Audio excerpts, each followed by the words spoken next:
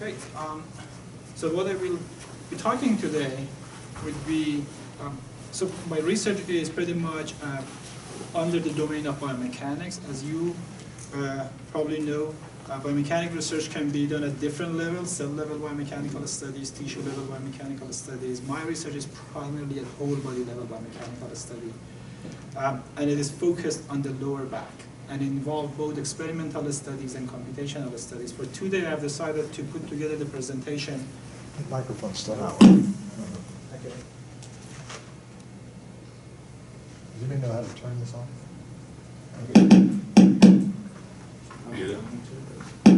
If you want, you can understand. How's that? There we go. All right. Yeah, it wasn't Okay. plugged in. Okay. All right. Um, So I was mentioning, uh, for st- uh, biomechanical studies, whole body level biomechanical studies that we do with the focus on the lower back, we do both computational studies and experimental studies. But for today, I've decided to just present only computational aspects of our studies. And that's pretty much about how, uh, like the models that we use to evaluate the spinal load and also evaluate risk of cumulative damage in spinal tissue. So here's going to be the overview of my talk. Pretty much all research is motivated because of the importance of low back pain.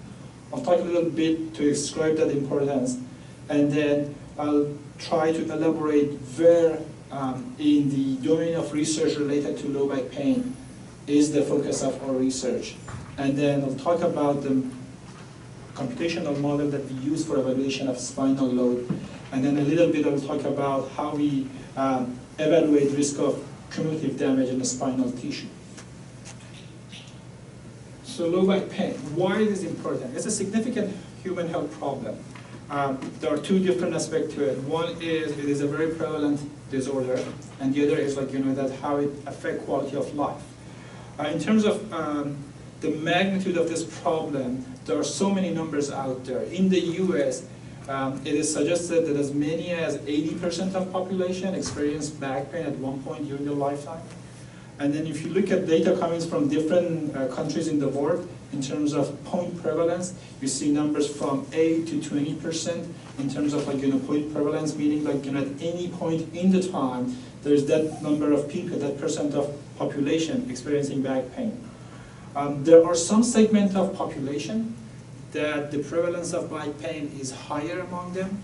And among these segment of population include older individuals that we have had some research interest uh, for this population, and also individuals that they have lower limb amputation, unilateral lower limb amputation. As you can see, I'll put numbers there in terms of like, you know, how prevalence of low back pain is compared among these individuals as compared to uh, general population. In terms of impact of low back pain, um, if back pain um, is get to the chronic stage, it is considered to be the leading cause of disability in the board. It negatively affect quality of life. For example, older work, like it forced older workers to retire prematurely. It is associated with opioid consumption. Half of opioid users, they report to have low back pain. And apart from like, you know, personal suffering, quality of life, it also is associated with huge cost to the society, a total cost. So management of low back pain, similar to any other disorder, can be done either through prevention efforts and intervention or through clinical treatments. Both cases, they heavily rely on information that they get from diagnosis of low back pain. Pretty much as of now, um, the diagnosis procedure for low back pain involve mainly physical examination and um, to some very like few extent medical um, imaging. The challenge that is faced for diagnosis of low back pain cause is that as many as 90% of low back pain cases, they are considered to be non-specific. So for majority of patients to go to doctors, the doctors cannot tell them what is causing their low back pain. So what will happen then, like, you know, with the intervention, uh, prevention and treatment uh, effort? As related to prevention of low back pain, the efforts will be, or are, or have been focused on reducing exposure to known risk factor for low back pain. What are risk factors? Risk factors are characteristic, characteristics of the environment that the individual live in, whether it's work or like, you know, in the outside of the work, that have been identified to be associated with a high risk of low back pain. As related to work-related factors, they can be categorized as either being like, you know, uh, physical risk factor or psychosocial risk factor. Physical risk factor, for example, studies of like worker population have shown that whole body vibration is associated with higher incidence of low back pain or manual handling. Then, so these risk factors have been identified. When we cannot identify what is the exact root cause of back pain, the effort will be focused to minimize exposure to this risk factor. For example, if whole body vibration is a risk factor, um, uh, the intervention has focused on improved design of vehicle seats to reduce the exposure to whole body vibration on vehicles that are, you know, like the, what is that, like, you know, these military vehicles or like uh, helicopters that reduce the amount of vibration that is being transmitted to the um, operator.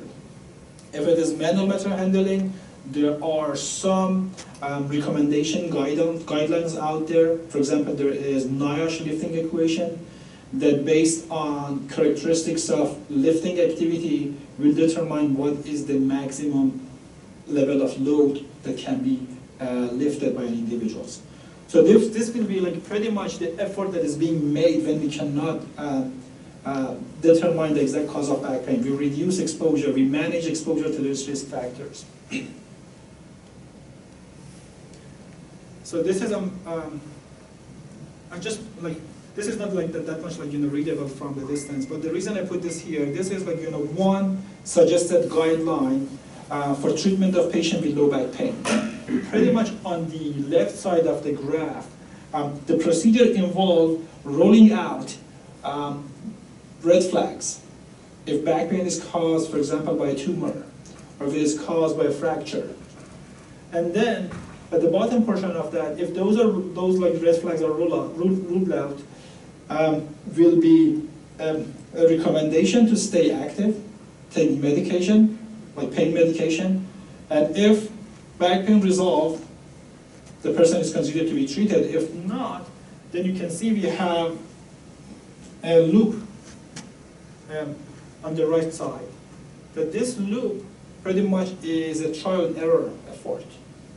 Um, the treatment listed in the table on the right side will be tried one by one. And if the patient respond, good for patient. If not, another round of treatment, like you know, different treatments will be um, tried.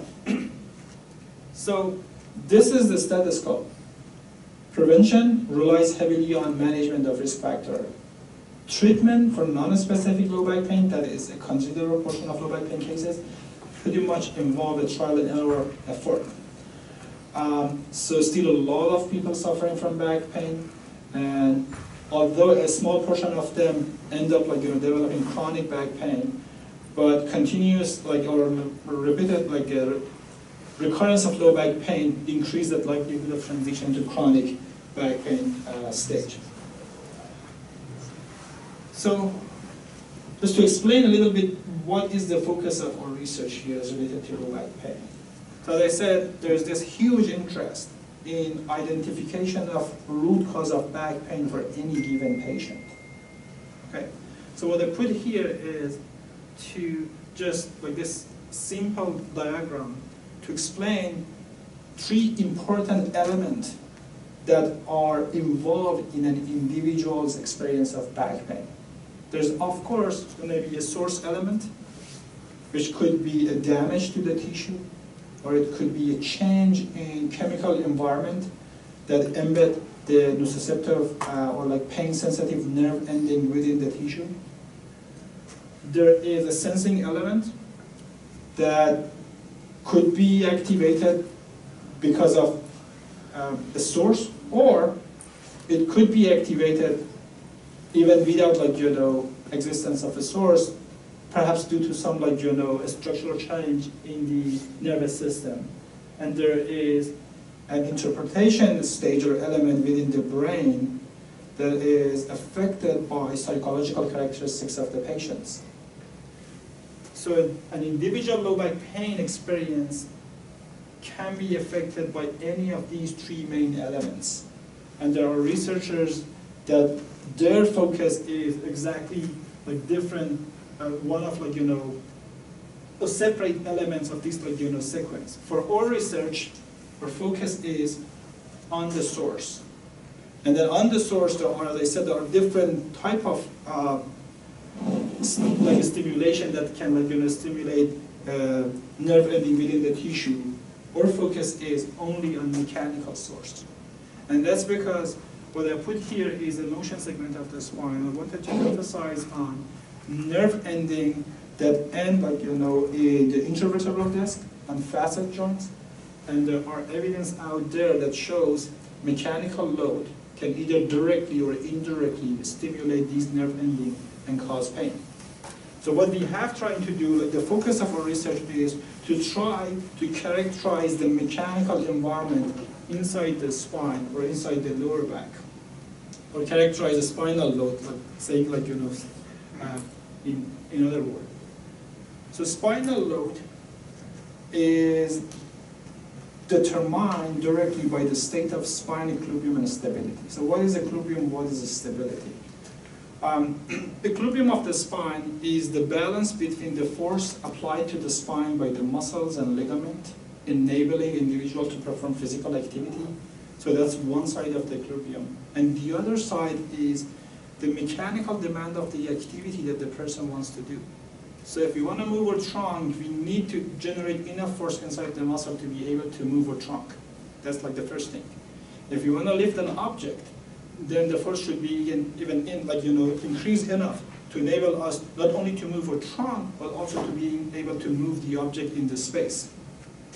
So we have this two side of like, you know, forces around the spine that represent the spinal equilibrium. So the resultant of this interaction will determine the spinal load. But there is another aspect to this equilibrium, and that's the spinal stability. Stability of spine is a property of spine equilibrium, and that's its capacity to sustain equilibrium condition. So if we have, like if you lift the load and hold it in a given posture, so forces inside the trunk are muscle forces to the extent that hold our trunk in that given posture, also like enable us to hold that load in a given height or a given like given location. But then the stability is the capacity of this system, neuromuscular system, if to just sustain that like equilibrium condition if it is perturbed. So to put this in context, let me just like give you one example. Imagine if you want to lift a load from the floor, as you start from standing posture, you want to just like you bend forward, your forces, the forces inside your back muscle will be adjusted such to enable you to move your trunk like you know downward, um, reaching to the load, and then you will increase the forces inside your back muscles to enable you to lift the load from the ground. But imagine if that load that you're going to lift was a big, large bucket of liquid as soon as you lift it, the liquid will start like you know moving inside that bucket. So what would you do? So like there is continuous perturbation to the load that you are lifting. Normally you would just like stiffen your trunk like abdominal muscles. So you will have to stiffen your lower back. So that means that you are co-activating your abdominal muscles. Mm-hmm. Muscles that were not needed if this object was a solid object. So you're adding more muscle force that should be also like balanced by back muscles. So that added activity of muscle will also increase spinal load. So the emphasis here, I wanted to put on the equilibrium stability to just, just demonstrate how these two different aspects of um, spinal mechanics, mechanics affect the loads that are being experienced at different level of the spine. So with this, here is um, how we study um, spinal load. We, not only we try to assess spinal load at different, um, when individuals perform different activity, but we are interested in knowing how different elements within the trunk contribute to that spinal equilibrium stability. So here, I'll just put this chart to show like, you know, when we want to do a physical activity, how these different elements work together to provide the spine equilibrium stability and how that like, know, affect the loads inside the spine. So we want to perform activities, central nervous system command our muscles to be activated. Depending on how we activate our muscles, it will determine how we will move our trunk, how we will bend our lumbar, like, like the lower back.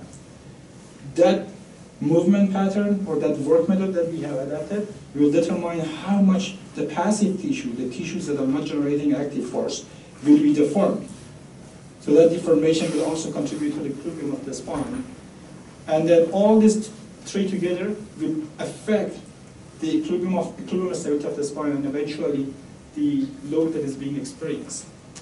So if we are studying a risk factor at workplace, like let's say a whole body vibration, or if we are studying a treatment, spinal manipulation, let's say, we are interested to know if that exposure to risk factor increase the risk of developing back pain. Is it because it increases spinal load? If so, how so? Is it by changing the active response or changing the passive mechanical behavior? Or is it like, you know, because of like, you know, change that it caused in the way that individuals perform activity? The same thing, like, you know, the same question we ask about, like, you know, if you're studying a treatment. All right.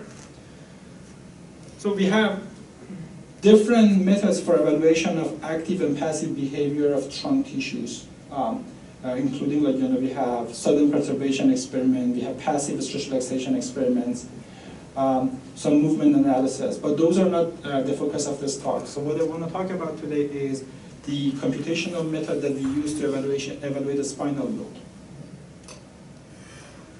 Um, it is possible to measure spinal load, but that is not a practical method for research and it is not ethical. Um, because of that, um, there is a lot of interest um, in using mechanical models for evaluation of spinal load. There are a wide range of different mechanical models out there, starting from simple rigid body models, all the way to going like, you know, to de detailed deformable finite element models. Um, and depending on the level of complexity, each, each of these models will provide different type of outcome measure. Rigid body models, they will just provide information about um, net moment or net joint moment or mechanical demand of the activity. If they are um, also like, you know, equipped with like, you know, some muscle, a model of muscles, they can also provide some like estimate of muscle forces. So the model that we use is a finite element model of the spine, wherein the vertebrae of the spine are simulated using rigid bodies. The passive behavior of a spine motion segment. A motion segment is the two disc, um, two, to the vertebrae, the disc in between, and all the ligaments that surrounding that, like, you know, um, structure. That's becoming a motion segment. The mechanical property of this segment is simulated by a beam element, like beam elements, nonlinear beam elements. Um, we also have mass and mass moment of inertia of the trunk distributed across the uh, spine at the, each level of the spine. Then the passive behavior of the spine motion segment um, is defined based using like, you know, um, properties coming from detailed finite element model of the spine. And these models were validated against cadaver, cadaver uh, data. so here on the right, we can see uh, passive resistance of um, spine motion segments from T12 to S1 to uh, sagittal plane rotation, whereas on the left you can see their passive resistance to axial deformation. The model that we have um, also include a rather detailed uh, muscle architecture. Uh, it has 56 muscles, um, 10 of them, which we call them global muscles, they are attached to thorax, thoracic region of the trunk, and at the top, and from the bottom, they're attached to the pelvis floor. Um, and we have 46 muscles that are attached to different level of lumbar spine, and span all the way down to pelvic, pelvis floor. The muscles, the in simulation of muscle, we tried um, to like perform wrapping of muscle wherever needed So if we simulate muscles using like, you know, straight line, um, then there will be situations that if we wanna like, you know, simulate a bending posture, the line of action of this muscle will come too close to the actual uh, spine structure, unrealistically close, or even it can like penetrate that. So in our simulation, we prevent like, you know, that unrealistic like uh, approach of the muscle line of action to the structure of the spine through a wrapping mechanism through or by uh, some simple contact simulation. So we have this uh, finite element model, and we use it in a kinematic-driven approach to estimate spinal load. And how does this um, kinematic-driven approach work is that we use measured motion of the trunk along with any load that is being manipulated by the individual and prescribe them to this FE model. The model, what, what the model will do is it will tell us how much mechanical demand that activity is putting at each level of spine, how much of that demand is being balanced because of the deformation of the spine motion segment, and how much should be balanced or offset by actual muscle force. And then once we get the muscle force, um, it can be used to calculate spinal load compression and shear force at different spinal level. But because this model is nonlinear, we need to repeat this procedure by applying muscle force as external load to the structure. And when we apply this muscle force as external load, what will happen is that material properties that I showed you will be different. As um, spine, like flexural stiffness, will increase if like you know compressive force are applied. So we need to apply those muscle force and see how that passive response is going to be changing, and then as a result, how that will affect the mechanical demand on the active tissue. This iterative procedure is like repeated a few times, three to four times, um, and once convergence is achieved, um, the muscle force, we know like all line of action, actions of the muscles, um, we just use simple vector calculus to calculate compression and shear force at different level of the spine. So here I'm just going to briefly explain one application of this uh, model. A few years ago, we studied um, two different lifting technique. Um, lifting with knee versus lifting with back, or what is called squat lifting versus a stoop lifting technique. Uh, there's been always this debate which one is safer. Um, there are individuals that advocate lifting with knee because it's allow bringing load closer to the body reduce the mechanical moment arm or lever arm of the load uh, with respect to the lower back. But there are others that uh, suggest that under repetitive or fatiguing activity, um, stoop lifting um, is associated with less energy consumption and also provide better balance. For us, we were interested to know um, in terms of exact, like in terms of spinal load imposed uh, on the uh, vertebral column um, how they are different. So what we did, we had um, 15 individuals to perform um, each of these lifting.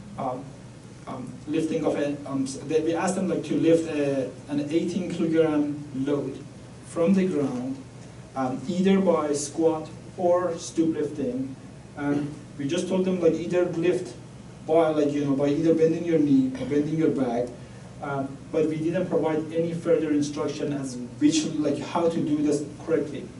As they performed this activity, we measured the motion of the trunk uh, using the motion capture systems. So I put here like representative of uh, thorax rotation in the sagittal plane because this was a sagittal symmetric movement, and also pelvic rotation. Um, throughout this um, few, next few slides, the in the figures, the red color graphs represent result for stoop lifting, lifting with back, and the green color results represent the squat lifting, lifting with knee. So as you can see, starting from standing posture, assuming that there is no rotation in thorax in the top uh, uh, floor, uh, figure, um, as they bend forward, the, the amount of rotation of thorax increase more so when they perform uh, lifting with the back. Um, and then they reach to the load, pick up the load and come back. And you can see the same thing for the pelvis rotation, which was larger under back lifting versus uh, knee lifting. Subtracting pelvic rotation from thorax rotation, we get like, you know, the amount of deformation in the lumbar region. So the amount of rotation provided by that deformation. So we get this deformation and distributed or prescribed to our model at different level based on some ratios reported in the literature. So you prescribe these things to our model. What our model will do, uh, bottom left figure, it will tell us, okay, under each of these activity, at a certain level, what is the mechanical demand on the spine? So at the lowermost level of the spine, at the S1, as you can see, under stoop, uh, both, under both conditions, that mechanical demand increased. They reach the load around two seconds, and there's this sudden increase in that mechanical demand. They lift the load, and as they bring the load closer to the body, that mechanical demand decreased. So as you can see clearly, the, the mechanical demand was much larger under back lifting, stoop lifting. So part of that demand was internally balanced by the, because of deformation of the passive structures, passive motion segment of the spine. And under back lifting or stoop lifting, there is more deformation of the lumbar spine. And as you can see, as a result, there is more or larger contribution of passive tissue to balancing the demand of the task under stoop lifting. Nevertheless, when you subtract this passive contribution from the total demand of the task, the demand on the muscle, the, the part of that demand of the task that should be balanced by the muscle was still larger under back lifting, stoop lifting versus squat lifting.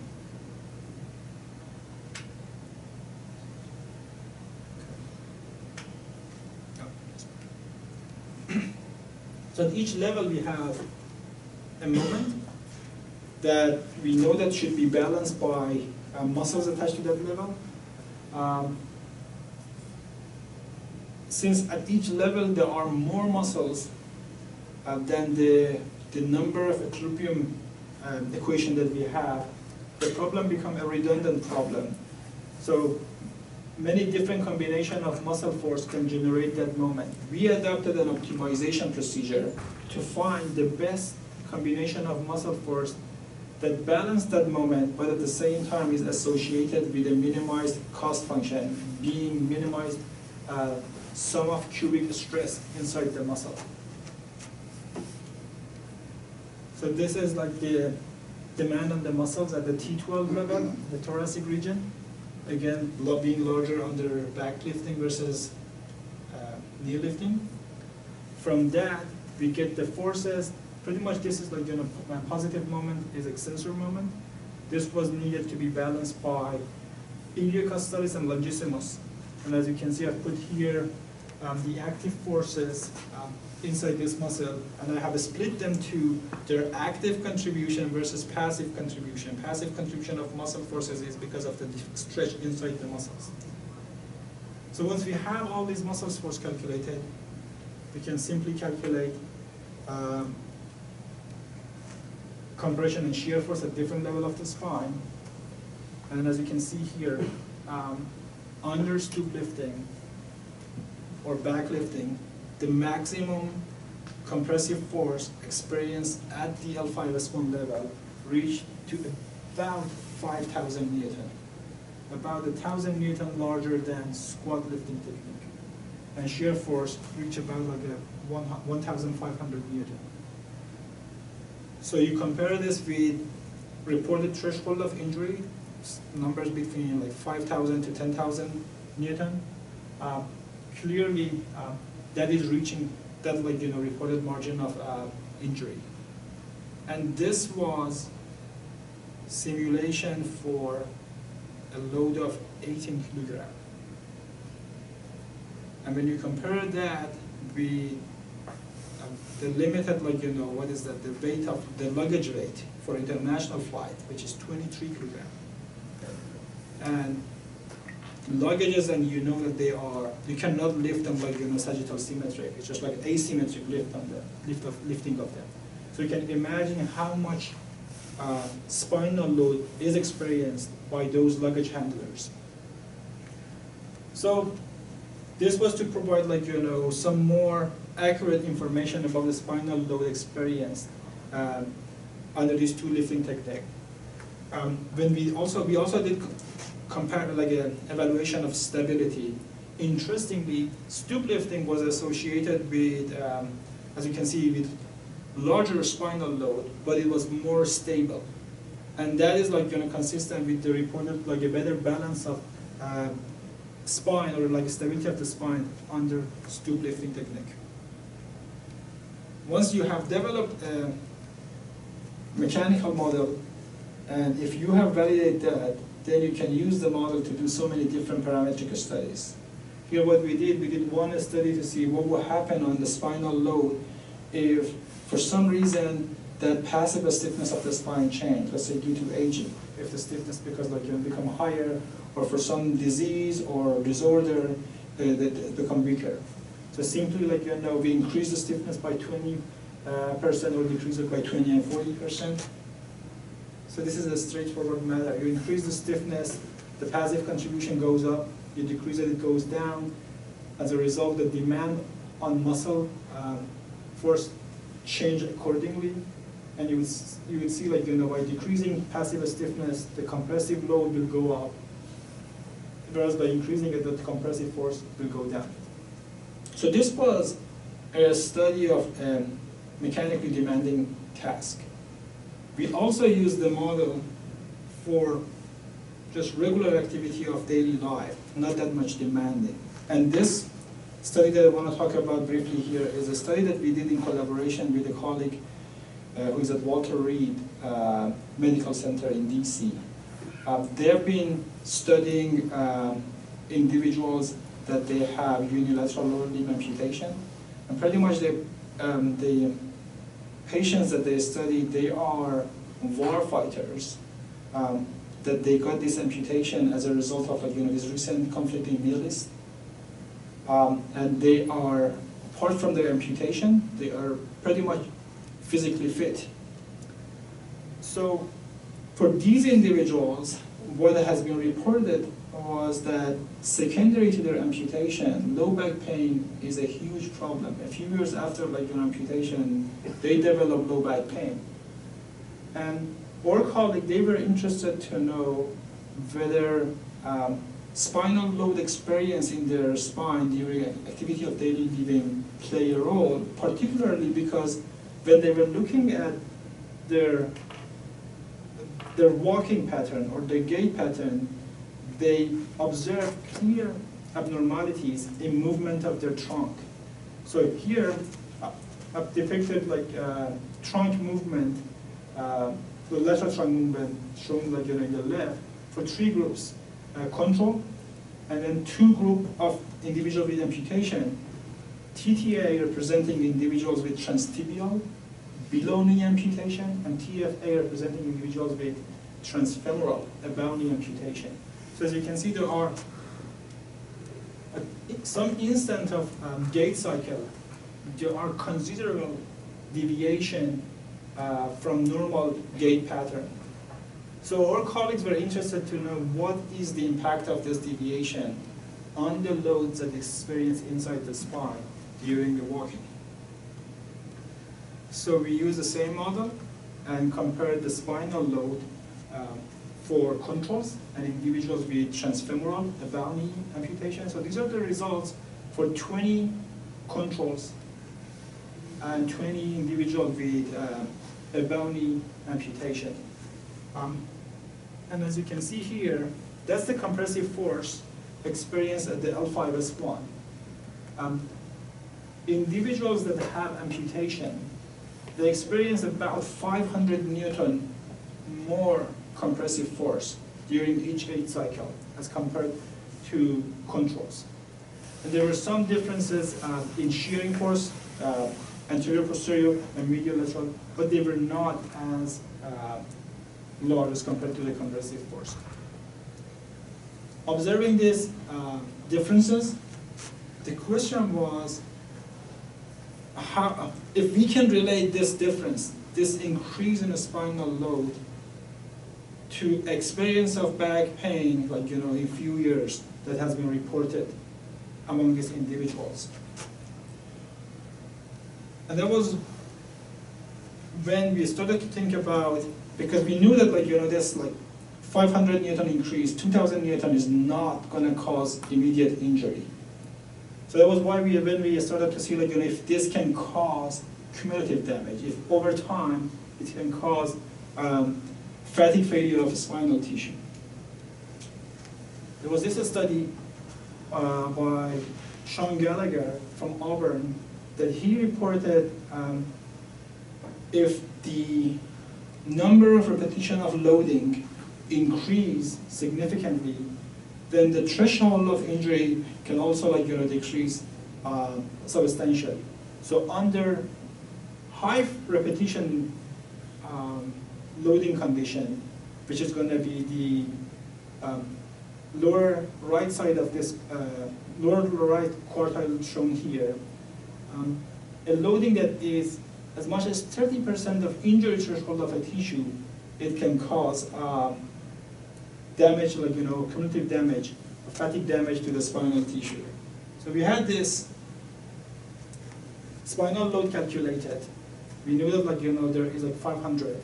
And the maximum force there reaching, like, you know, 1800 uh, for controls and for, um, for, sorry, for individuals with amputation, for controls reaching like 1200.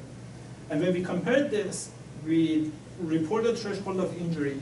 For controls, it was much less than 30%, so there's no concern about fatigue damage. Um, for those with amputation, as you can see, like 1.8 could somehow reach to 30% of 5 kilonewton. But this was some sort of like a speculation.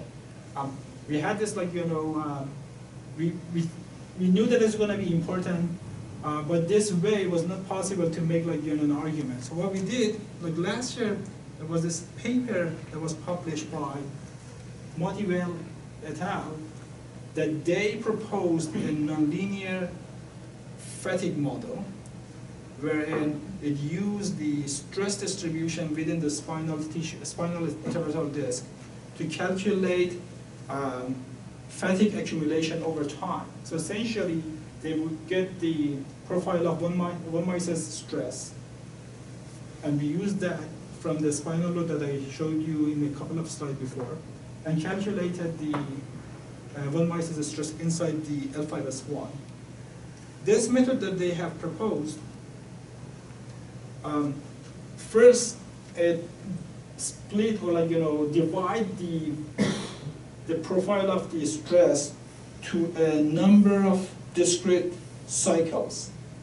And for each cycle, it calculates the number of um, cycle needed to complete damage under that loading cycle. Then, knowing the number of like you know cycle of activity, we can calculate the amount of damage for each cycle of these uh, loading or like a stress here that we have. So starting, let's say, with the smallest loading cycle, we can calculate the number of cycles needed to fatigue damage, and then knowing that individuals perform like you know 10,000 steps per day, we can calculate how much damage occurred because of that smallest cycle under 10,000 steps. And then from smallest cycle going to the next smallest cycle, or like the, the, the one that is a slightly like larger, we can repeat the same thing, but this time um, we have to adjust the number of uh, repetition of activity uh, in a way to account for damage caused by the previous or the smaller, like the, the previous smaller cycle of the loading. So that's what I have put like, you know, in this line on the right side. This is done for everything. We get uh, the amount of damage due to all of the loading cycle here. and then we also know at the end of the day, when they go to bed, that's going to be a rest period. Right? It's going to be some recovery to happen. So we also need to just modify this formulation for the amount of recovery that happened uh, or tissue healing that happened over the rest period. So we did this formulation, we developed this model, and use those spinal load calculated to predict progression or accumulation of damage uh, inside the spinal tissue. A damage value of one means complete fatigue failure, and as you can see, for an individual with transfemoral amputation with the spinal load that we have calculated, it would take about 10 years for total damage. Whereas in individuals like, you know, like with the healthy individuals, it would take up to about like, you know, 50 years for a complete damage. So what is um, the importance of this?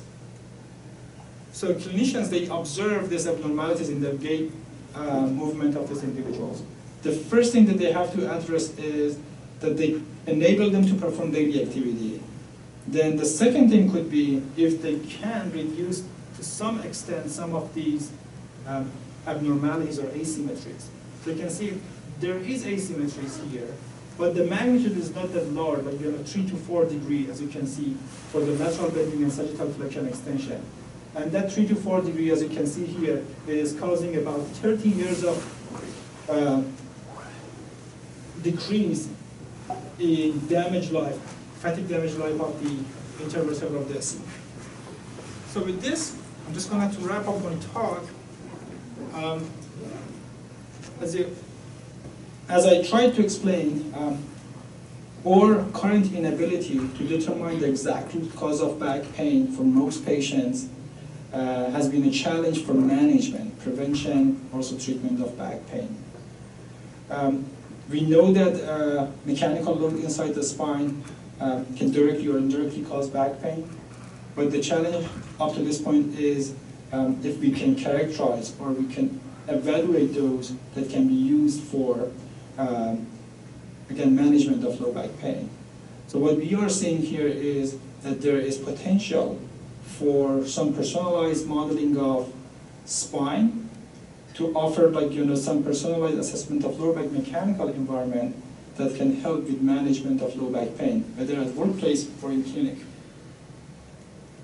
And with that, I'd like to acknowledge our funding resources and my students, and I'd be happy to answer any question that you have.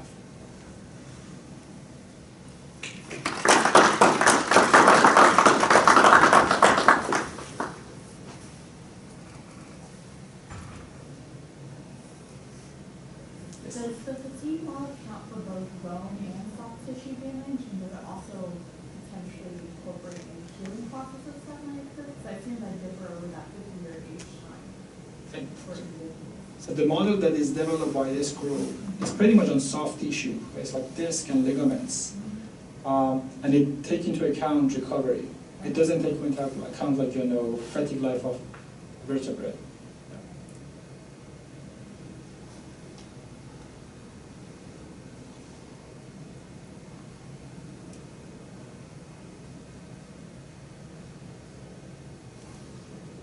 So,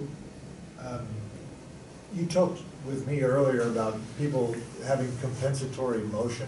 Yes. Uh, how, how could your model uh, account for people who are, who are compensating for pain with different motion patterns, uh, as opposed to normal motion patterns, and, and how that might affect the, the fatigue? So the fatigue model is primarily affected by the input of spinal load. Those alteration in movement pattern can affect the spinal load in turn. Um, looking at the patient, what we can observe and measure confidently is the changes in motion. But what we don't have much confidence is if the predicted muscle force that we have is representative of the actual muscle force activation. So our model, the FE model that I showed here is an equilibrium based. It doesn't take into account the stability requirement. So if someone co-activate the muscles, this model will not see that. We can enforce like, you know, some stability criteria, criterion there. But as of now, it's just like, you know, whatever that is observed by the model is going to be based on changes in the movement pattern, not personalized changes in the way that they recruit their muscles.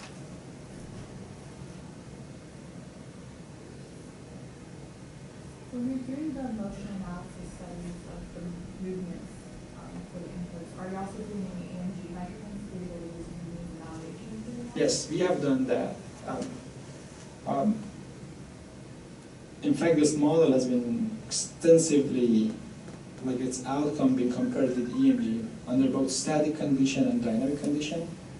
Um, We did one study of like looking at the effect of trunk motion on the spinal cord. For that study, we compared the result with measured EMG. Um, um, Validation with EMG is just gonna be if, in terms of pattern, there is any relationship, because how muscle measured EMG is related to force, that is not known, right? Um, But we also looked at um, ground reaction force and try to see if the pattern of ground reaction force is like, or, I'm sorry, like the, the reaction force we get from the basic, uh, basis of our model is consistent from what is measured from the force plate. Um, we did some perturbation study where in, we put individuals inside this device that had like the load cell and moved their trunk back and forth. Um, that device had a load cell. Um, so when we put this movement, the force, the reaction force that we saw for that movement from the model was also consistent with what we were reading from the load cell. So like some sort of indirect validation of the model.